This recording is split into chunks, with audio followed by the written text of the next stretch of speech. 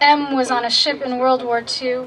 Sir Tony was his first sponsor. The bottles of Vicodin were endless. R visited Gunther Rall, used a slur for the Japanese, fought under duress, but his family died in Dresden anywhere. Anyway, S brushed her teeth after throwing up in the coffee shop bathroom.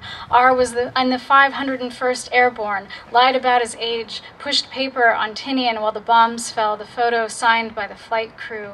R, the doctor, told me she wished I could work for her. The seatbelt buckle burned my hand the smell of new paint in summer heat. I was so in love. I was so alone. A bird flew into the glass of the shop, and I brought it home, held a funeral for us both.